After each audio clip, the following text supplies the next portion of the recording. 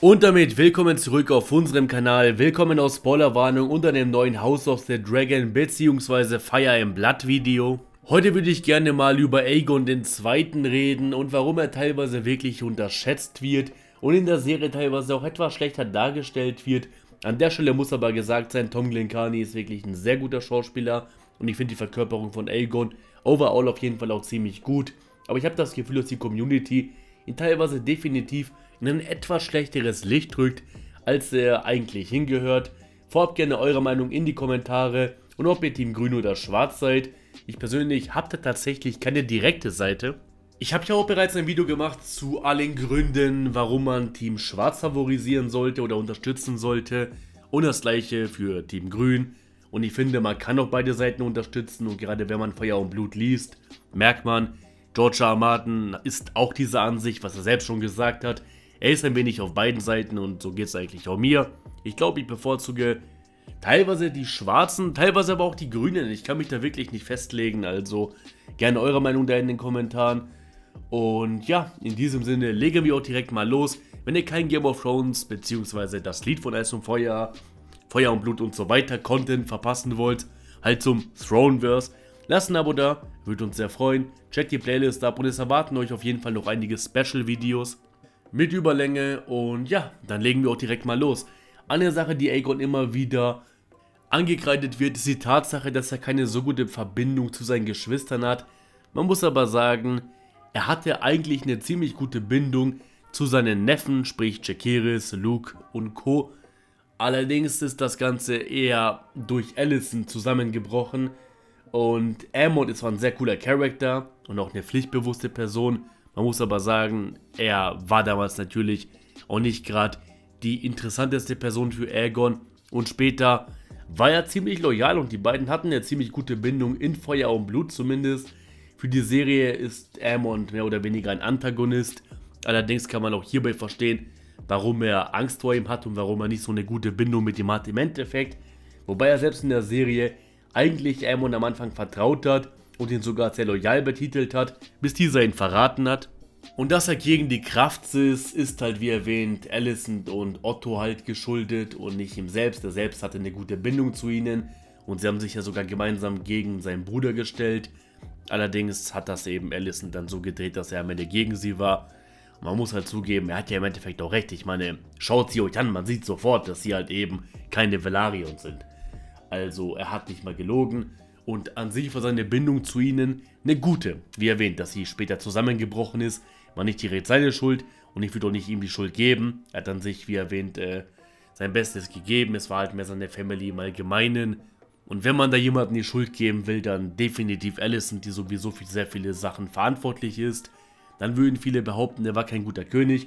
Aber zum einen muss man hierbei erwähnen, er wollte nicht wirklich König sein. Er wurde in die Position gerückt vor allem eben von seiner Mutter, seinem Großvater und seiner Familie im Allgemeinen, zumindest dem Teil seiner Familie, der eher auf Seiten der Hohen Turms war. Dabei haben sie natürlich auch ausgenutzt, dass er männlich ist, den Namen des Eroberers hat und so weiter, aber im Endeffekt ging es halt einfach darum, dass die Hohen Turms ihren Kandidaten auf den Thron setzen wollten und nicht Renira. Dass Renira weiblich war, naja, das war eher zweitrangig, aber fiel natürlich in die Karten, so wie es zum Teil auch in die Karten fiel, dann Reniera zu supporten. Es war aber eher zweitrangig. Und im Endeffekt, er war kein schlechter König. Er war definitiv kein Joffrey oder Maegor. Er hat sich um sein Volk gekümmert. Klar, er wusste ihnen nicht unbedingt zu helfen, hat falsche Versprechen gemacht, aber es hat ihn interessiert.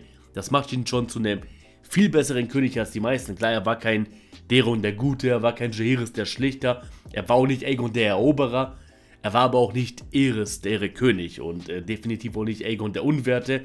Also ich würde sagen, er ist so ziemlich im Mittelfeld, was die Könige betrifft und das ist eigentlich ziemlich gut. Renira dagegen ist zumindest in Feuer und Blut im Endeffekt schon ziemlich verrückt gewesen und äh, wäre jetzt auch nicht die allerbeste Königin. In der Serie wird sie natürlich sehr gut porträtiert, macht ihn aber auch nicht unbedingt schlechter. Des Weiteren muss man sagen, wurde er in die Rolle gerückt und sie will es im Endeffekt, also ja, sie muss da auch mehr abliefern. Des Weiteren muss man natürlich auch sagen, dass für die Serie sogar erklärt wurde, warum Allison der Meinung ist, dass Viserys ihn als Erben haben wollte. Da gab es das Missverständnis.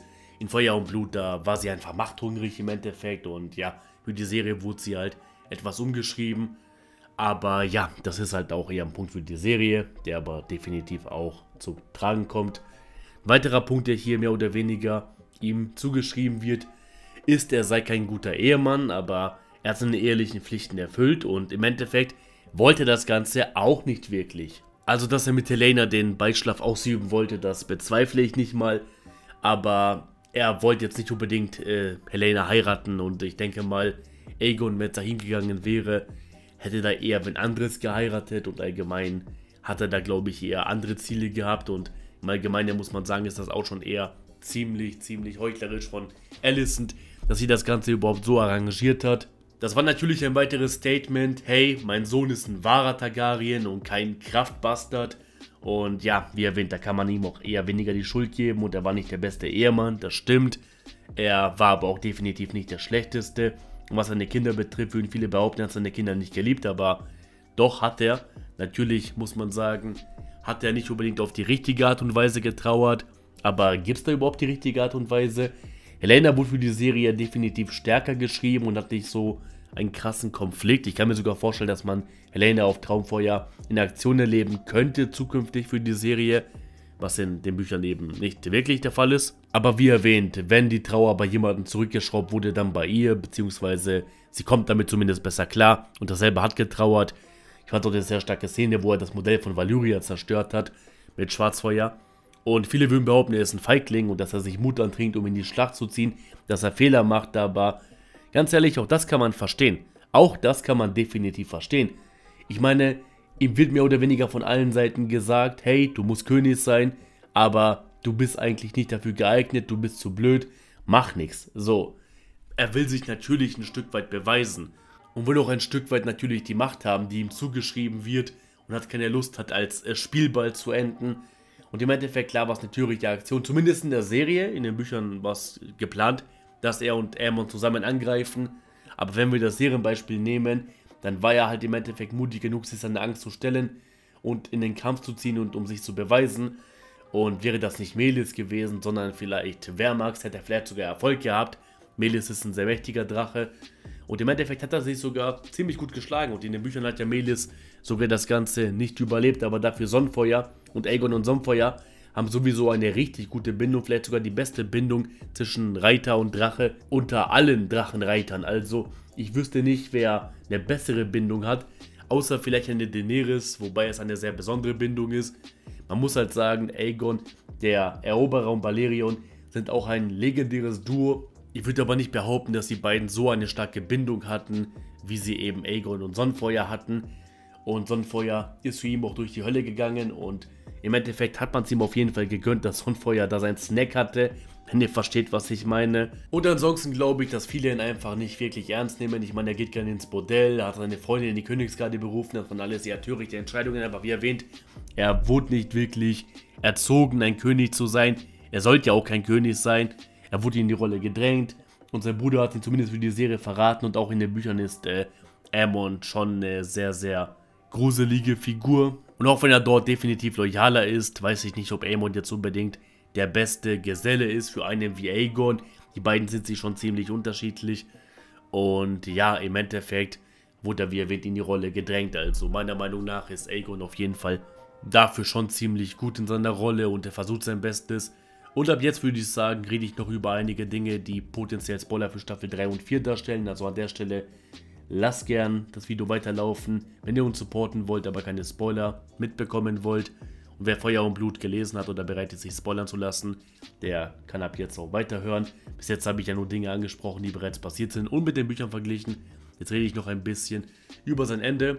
Also Spoiler in 3, 2, 1. Gut, eine Sache, die mich an Aegon auch ein wenig traurig macht, ist, dass er im Endeffekt durch Verrat gestorben ist. Ich meine, er wollte das Ganze nicht wirklich, hat dann darum gekämpft und am Ende wurde er von den Leuten, die ihn dahin gebracht haben, verraten was ich persönlich schon ziemlich traurig finde. Und das macht ihn auch zu einer sehr tragischen Figur. Wie erwähnt, seine Bindung zu Sonnenfeuer ist richtig stark. Dass Sonnenfeuer für ihn auch durch die Hölle gegangen ist und sogar im Endeffekt Graugeist und Mondtänzerin mitgenommen hat, finde ich sehr bemerkenswert. Man hat es ihm auf jeden Fall gegönnt und Renira war im Endeffekt sehr wahnsinnig. Ihr Mann ist Dämon Targaryen. Und ja, Jakiris wäre ein guter Erbe gewesen, aber wie erwähnt, da haben eher ihre Mütter ein Keil zwischen die beiden getrieben. Die beiden hätten auf jeden Fall gut zusammenarbeiten können. Jaehaerys hätte sogar Helena heiraten können. Und ja, wahrscheinlich hätte das den Targaryen sehr viel Wohlstand gebracht.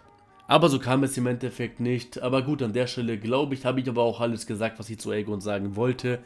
Ich finde, er wird teilweise missverstanden und ja, er ist nicht der beste Charakter, er macht viele Fehler, vergeht sich an seine Dienerinnen und was weiß ich nicht alles. Aber hey, er versucht sie zu bessern, er versucht zuzuhören und im Endeffekt äh, muss man sagen, ist er definitiv nicht der schlechteste König aller Zeiten. Deshalb wollte ich gerne mal über ihn reden, weil ich das Gefühl habe, dass er teilweise durchaus unterschätzt wird.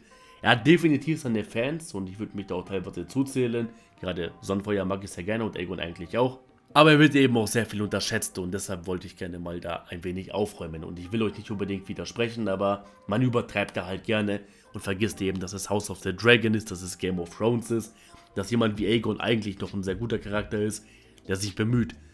Und gerade in Serien vergisst man oft viele schlechte, nur weil ein Charakter eine gute Sache gemacht hat und ebenso vergisst man vieles Gute, nur weil man eine schlechte Sache getan hat.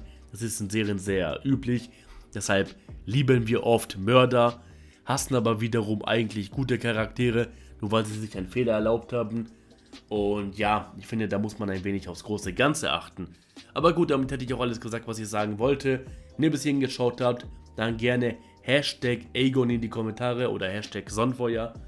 Und ja, in diesem Sinne, das nächste Video erscheint, wenn der König die Krone aufsetzt. Bis zum nächsten Mal, ciao und tschüss.